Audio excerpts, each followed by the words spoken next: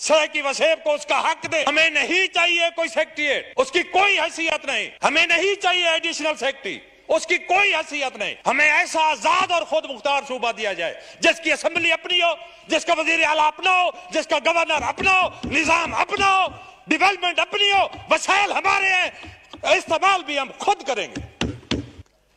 आज हमारे पास कोई बहाना नहीं। पहले हम कहते थे कि पीपल्स पार्टी कह रही है तो नून लीग नहीं मान रही। नून लीग कहती है तो पीपल्स पार्टी नहीं मान रही।